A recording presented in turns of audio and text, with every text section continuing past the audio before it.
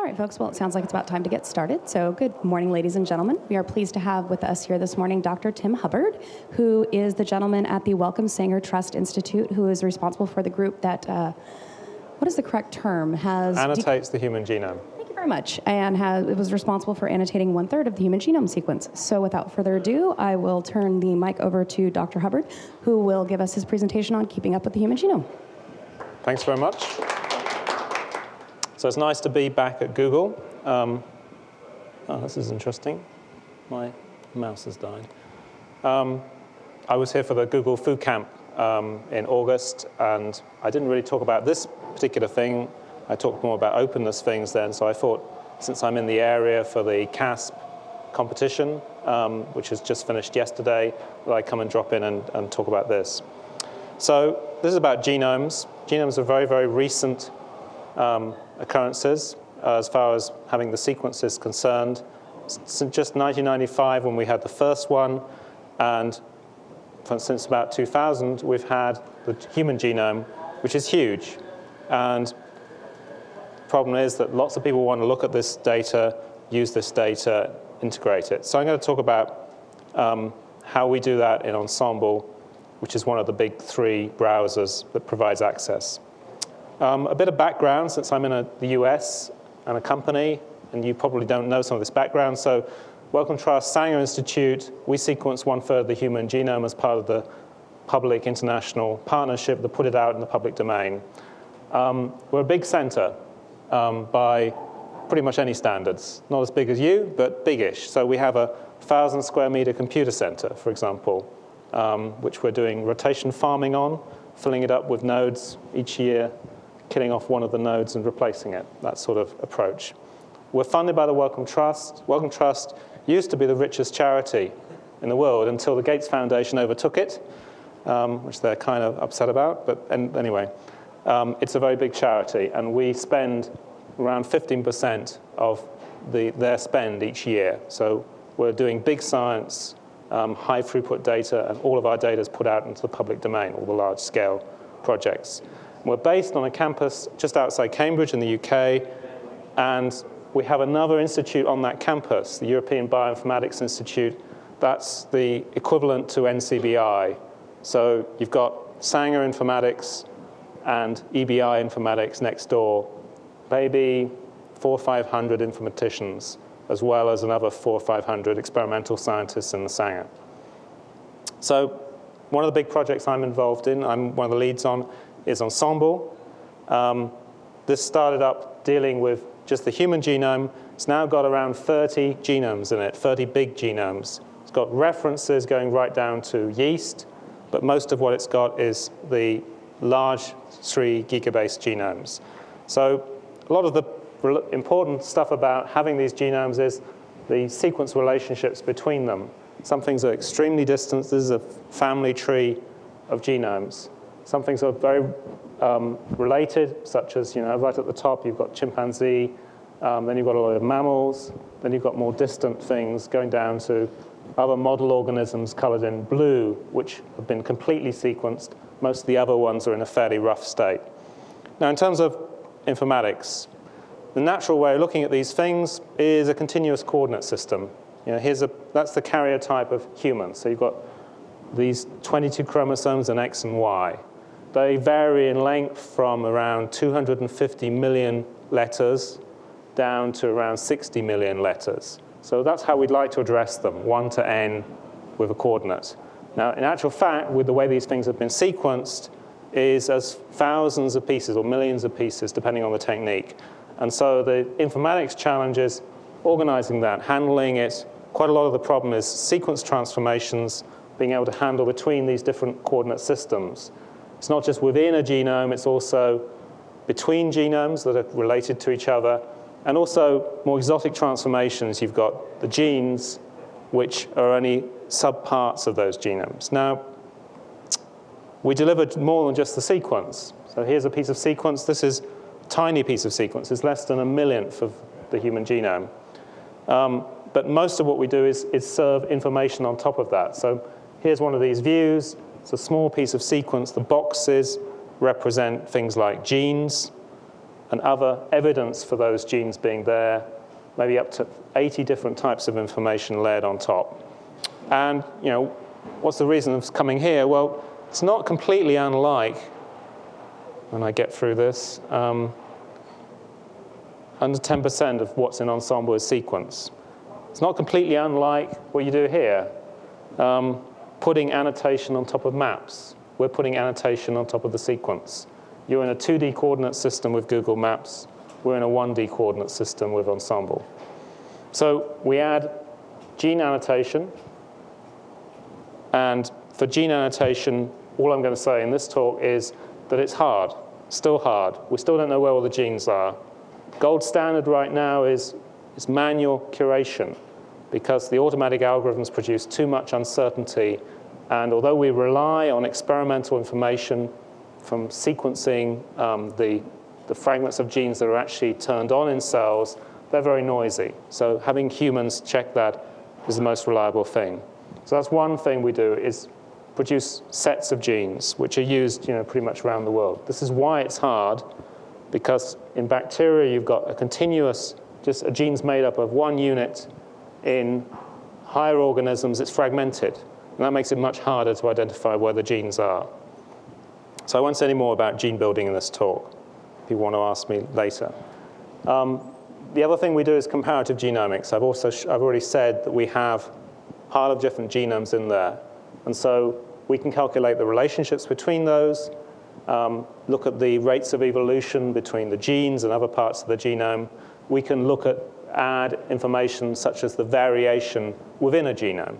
So there's one human genome, but there's six billion of you, and you've all got individual mutation variations within you, and there's population structures of those, and those can be related to disease. So it's interesting to store that information and make it available to other researchers.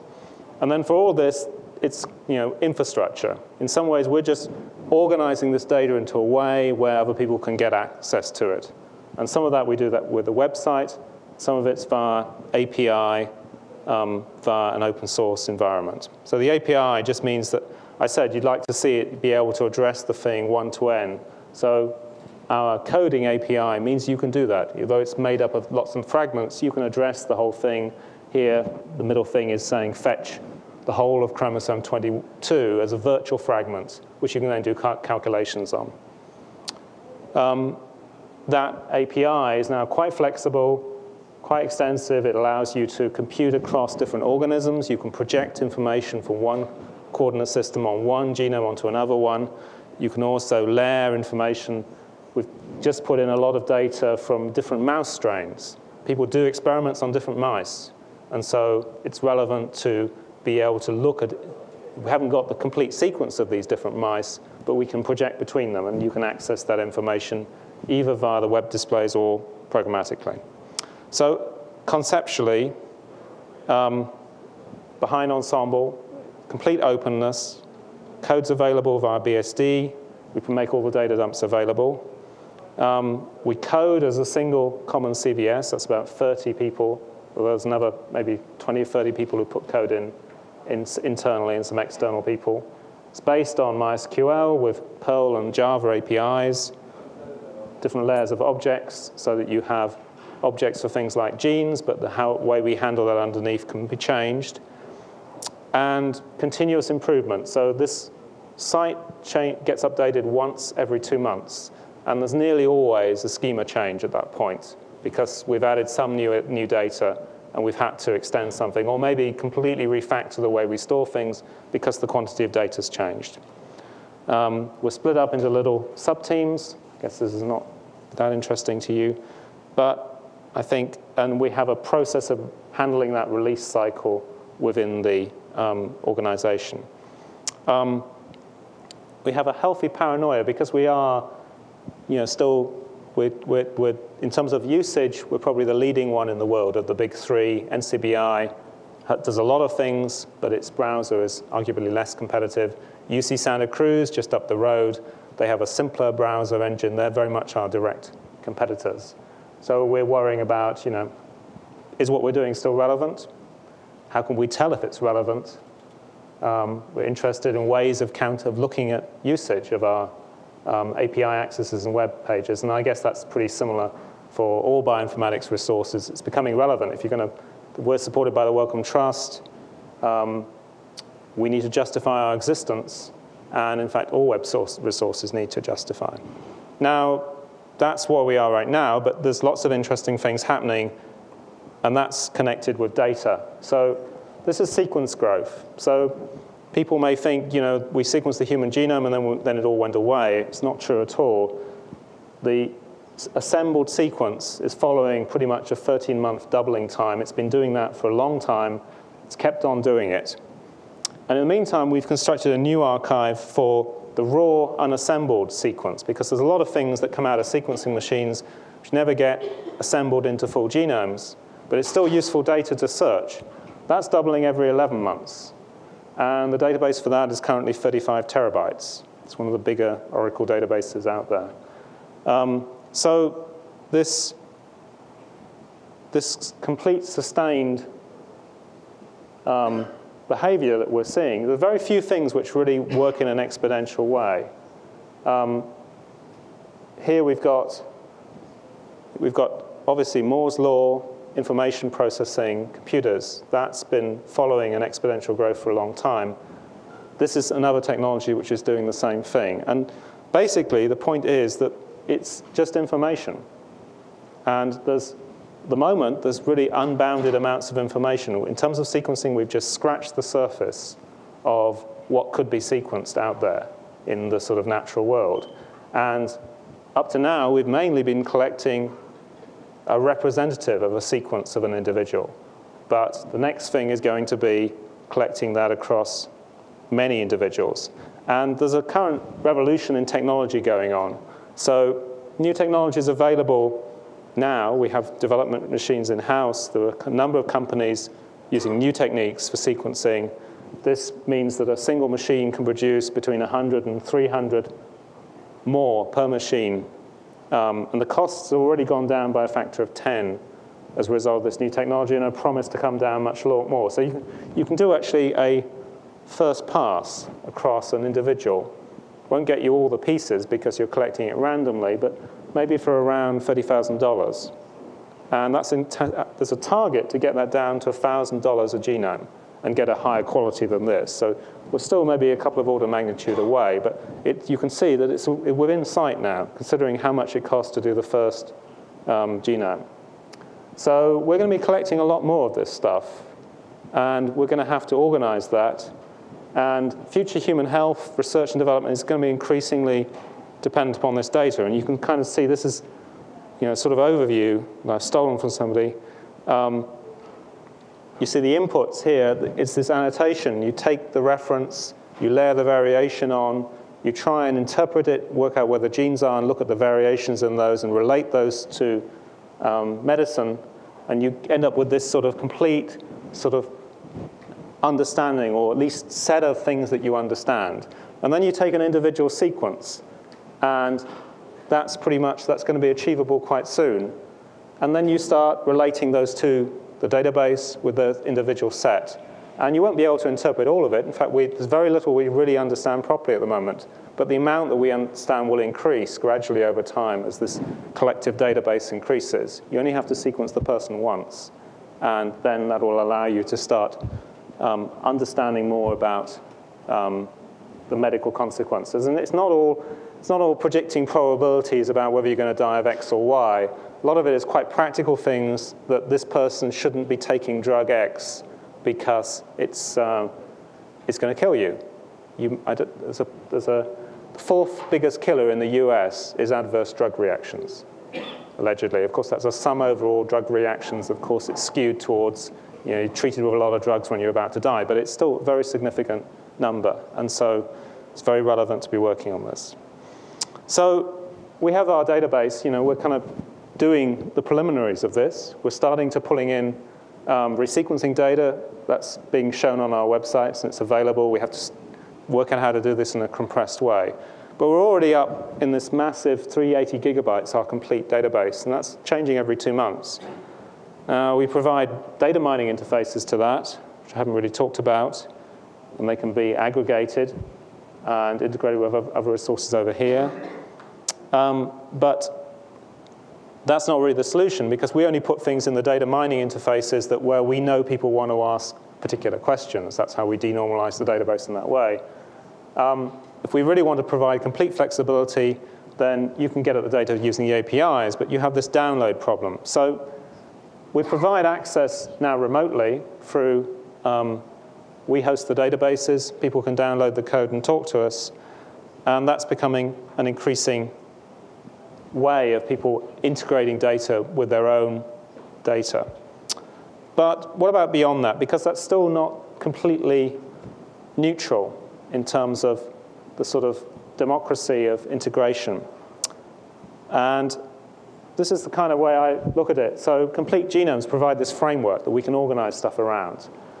Um, but you know, we're in a strong position because we've got this big database and resources um, we have a lot of power then. And in fact, that's not ideal. You'd actually want to have no monopoly on this because you'd like anybody to contribute, no matter how small they are. Um, the more organizations provide data, though, the harder it becomes for anybody to use the results. So how can you address this problem? And this kind of fits into other sort of openness issues, which I'll just mention. So just the general issue of data sharing. All of the human genome, because it's been open has been quite a driver for this, the idea that you could release data immediately and make people available. And there's also this kind of idea which came up, of course, of the Google camp here, of that open models, maybe you actually require open models. Vista was just announced a couple of days ago. People are saying, well, maybe that suggests that the difficulties in doing that suggest that centralized projects are just not very scalable. Science has always been highly cooperative, but it's not been so data rich as it is now, not in biology. We have to find better ways of handling this. And then I'll just put up this. Um, this was in Berkeley, I saw a few years ago. Um, all these arguments about ownership, patents, things like that. You know, I've, I've given other talks about this, but basically, if it's open, it's better. It's going to be easier to um, share things. So the, there are various problems to solve. In the community of scientists, we're having to get used to the idea of sharing data more and allocating credit appropriately. Um, but there's also these practical issues of data sharing. So we had this camp here, and they were, it was kind of similar issues. Um, how do we increase um, integration and processing bandwidth? Now, bioinformatics. So we have these databases, they're kind of linked together. But there's a lot of databases. And in fact, there's a danger that we have, if we have too many databases and too many diverse interfaces, it actually reduces impact because scientists just get lost in different ones. So can we find a way of splitting data and presentation so we can get competition between those two um, mechanisms um, and find you know, optimal tools for visualization. So, so I'm going to introduce the, this DAS idea because we're now using this very heavily, and this seems to fit within this prototype. So um, what is DAS? So this is the idea. So we're a big data provider, and there's lots of people viewing our data via our servers, and that's kind of a monopolistic view because if somebody else has got some data, it's hard, they've got to persuade us to put that data in our system. And that's not always, we, you know, we don't always know that the quality of somebody else's annotation is. Should we include it or not? Um, so external contributors, they might set up their own database, but then, of course, that's a big overhead to set up something competing with us. And probably it means you know, not many people go and look at their data, even though it might turn out to be valuable. So the DAS idea is you just serve the little bit of extra stuff that you've got. You use some infrastructure to make sure the coordinate systems are synchronized, and then you make the viewers cleverer so they can integrate things on the fly. And once you've done that once, of course, you can have as many servers as you like. Um, and users can control this. They can turn things off. So this is the opposite to the links model.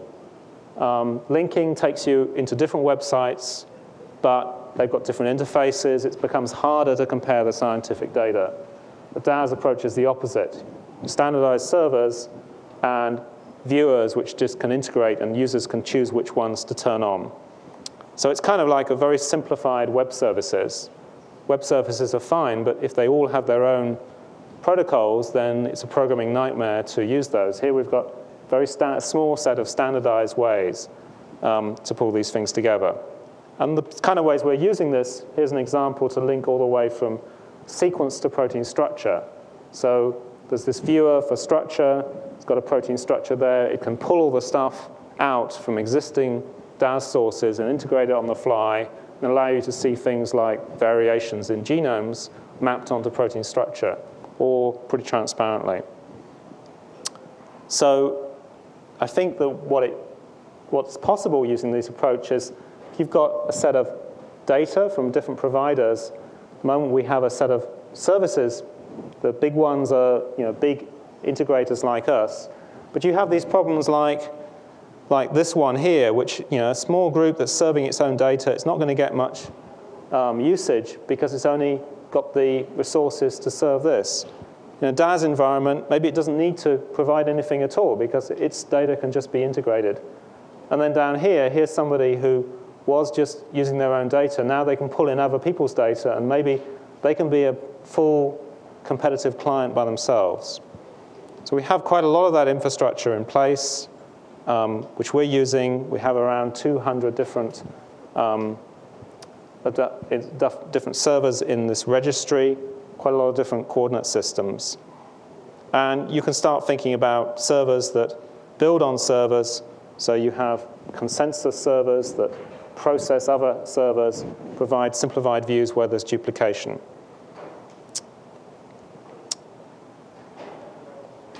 Um, yeah. So that's, that's where I think the annotation world is going right now, at least one substrand of it. Um, how can you pull this stuff in together so that then scientists really can compare different results and try and work out which ones to believe? Because at the moment, if they're sitting on different sites, it becomes very hard to do that. Now, I want to say just something about prediction, because this is where I've just come from, this meeting.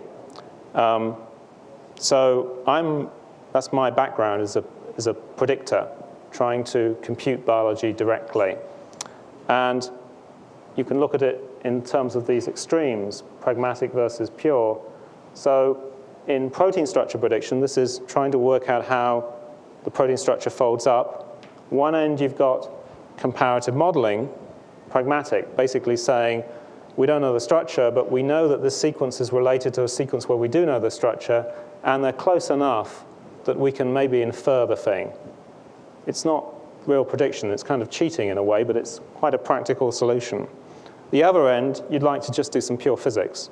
Just take the thing, we know it folds up by itself, make it simulate. Um, but simulation doesn't really work. We, a few years ago, there was this thing called fold recognition, which was really comparative modeling at a long distance. Um, and in fact, what's actually proving practical is fragment-based assembly, which is not quite pure physics, but it's, it's much closer to real, proper simulation.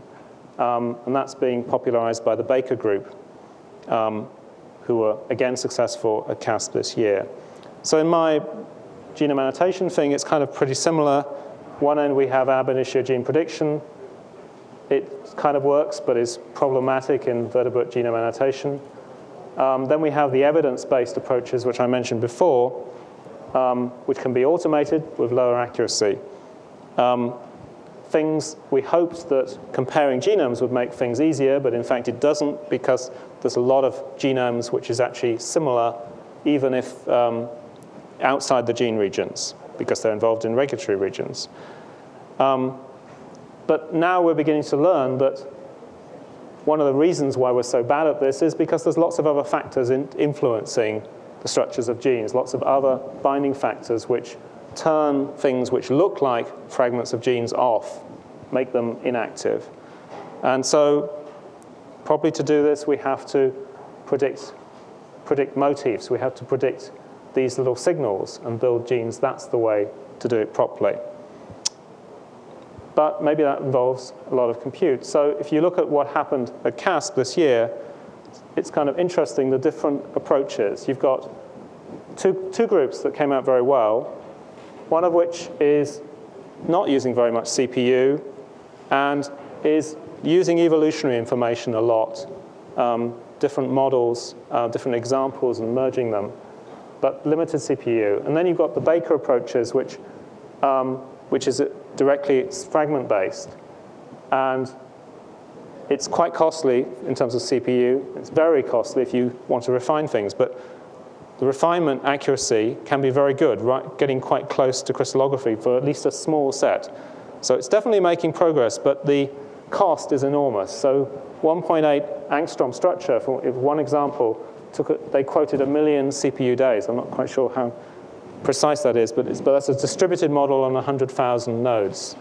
So where are we going to go with the genome? Because we're collecting this data, we're integrating all these different bits of evidence, but ultimately, we're going to understand it at the level where we can interpret individual mutations. We're probably going to have to do similar sorts of very high CPU intensive things. So that's where I think ultimately we'll have to go. But at the moment, the value comes from integrating data.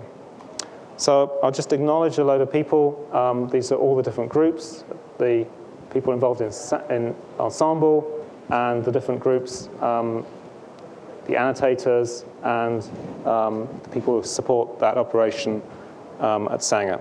So I'll stop there. Thanks very much.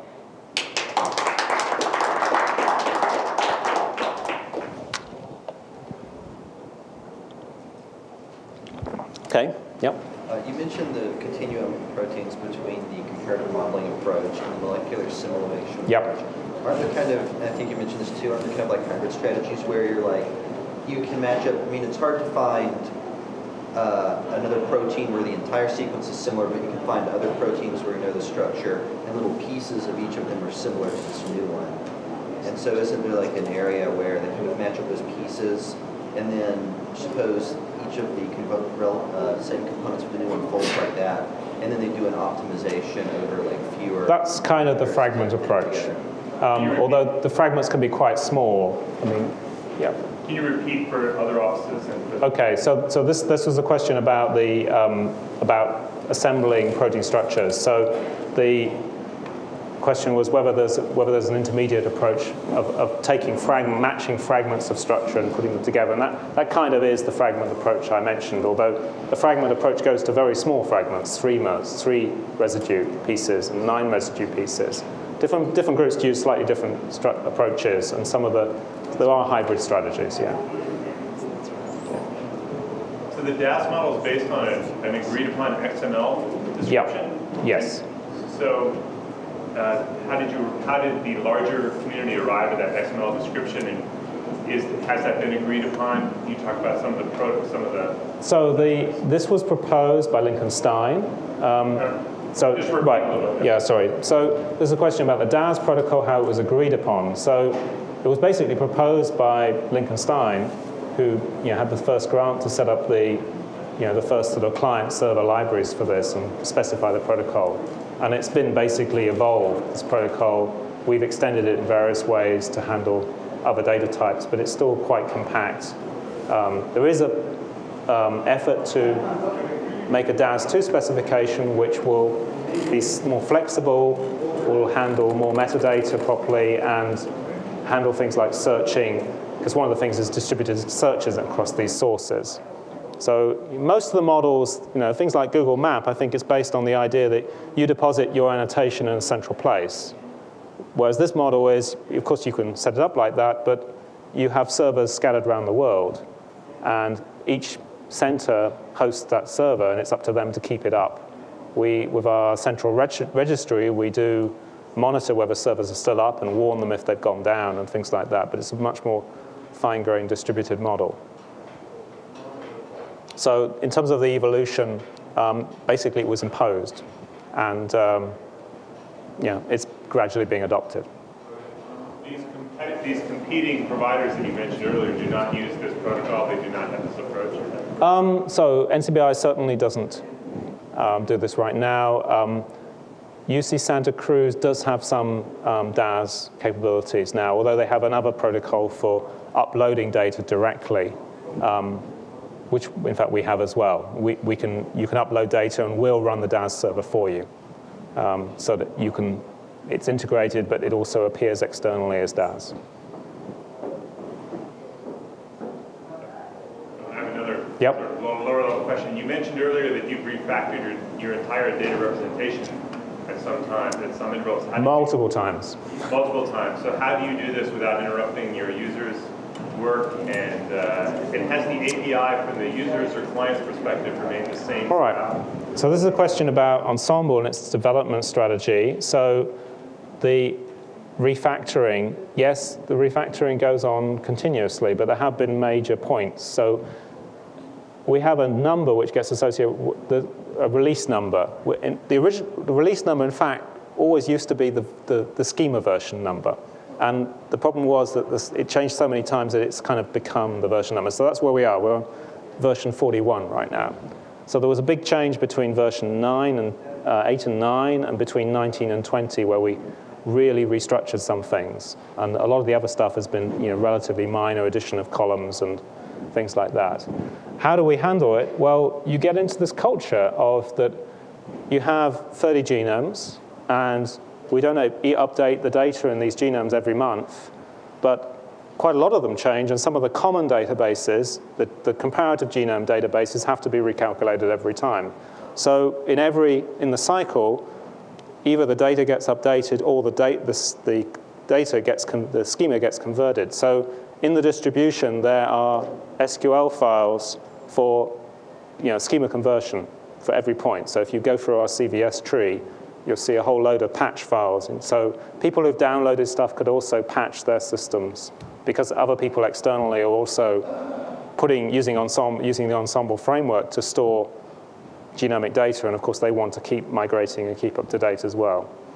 So yeah, it's, it's, it's I think it's a cultural thing. If you, and in terms of supporting these sort of things, you know, we have 30 engineers working on this. There's a kind of feeling that that a lot of a lot of infrastructure isn't well enough funded, and it's only got enough funding to just keep going. We have enough where we can keep going, but we can also be re-engineering things on the side, and that's what you need to keep things moving. You, have to have enough resources for those two things. And we do get pressures. We used to do a one-month cycle, and that just became unworkable because everybody was running the cycle rather than doing any new development work. But two months seems more sustainable.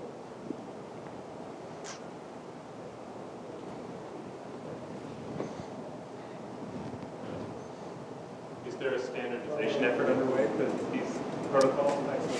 For which ones? Like the, the XML protocol or the, the DAS protocol? So the DAS protocol is kind of standard. Um, and, but it's, it's, because it's XML, it can be extended. So the, we've added extensions, and other people can propose extensions. There's a proposed extension for interactions between objects, biological objects. So there's lots of, lots of cases where people propose a list of proteins which interact with each other. And that's another thing where you'd like to integrate in this framework, be able to see all these different opinions um, integrated in one client.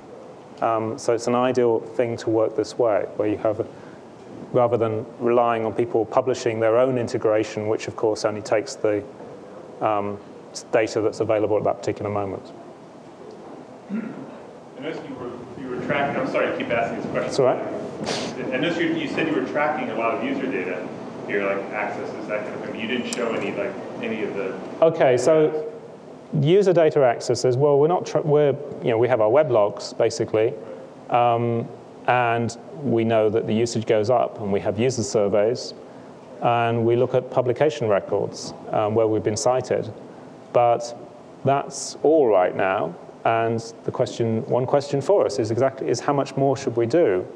And in a wider infrastructure question, you know, I'm on various European infrastructure um, committees, you know, over here, things are quite well funded. Actually, the NCBI, the structure of funding of NCBI and other resources, it's quite stable. And we don't have this in Europe right now. It's not as stable. Um, but governments are always worried about funding things on an ongoing basis, um, you know, perpetually, without having some measure of value. And so working out what the, level, what the value is of these resources and whether they're still valuable, whether they should be merged or closed down or things like this, it's a real question. And so working out how to, not only how to integrate data, but then work out who contributed what is, I think, a, quite an important question in terms of the sort of long-term funding. Yeah. So if I had uh, protein structures, can I use DAS to uh, annotate genomes with the structures? So you could set up, so if your structure, in fact, I was talking with some people at CASP about this, so there's quite a few databases of models, for example, of protein structure around. Um, and most of them can be related to UniProt sequences, which are standard protein sequences. And so there's all kinds of annotation out there against UniProt sequences. So if you make the connection between the two, yes, you can use DAS to you know, display that annotation on any of these models that have been constructed you know, using protein structure prediction.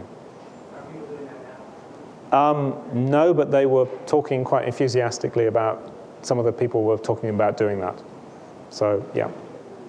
I think, you know, within Europe, there's this thing called Biosapiens, which is a EU-funded project to link a load of different bioinformatic people, mainly working on protein sequences, and they've been, they'd adopted DAS as their mechanism for exchanging data. And so that's been quite, seen to be quite successful and is actually is providing an interoperability layer between all those groups.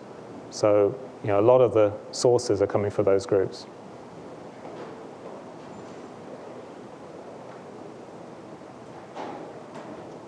Okay. Thank you.